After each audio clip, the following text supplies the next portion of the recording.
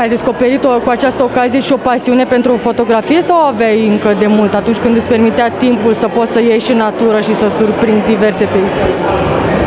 De când au apărut aceste telefoane tot mai performante, cred că toți avem o nouă pasiune pentru fotografie și ne descoperim talente, dar nu, pasiunea mea este pentru gastronomie, pentru mâncare și prăjituri și într-adevăr încerc să le pozez.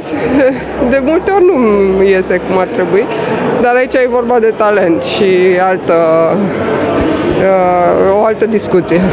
Mereu m-am întrebat cum poate bine un cofetar să fie slab. Și mă uit la tine, tu spui că ai pasiunea asta pentru gastronomie, încerci rețete noi de fiecare dată, aduci în fața publicului tot felul de delicatese.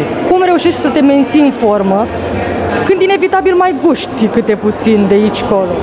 Inevitabil atunci când facem rețete noi, atunci chiar e inevitabil pentru că e un proces care durează și pe, pe parcursul lui trebuie să gust de fiecare dată.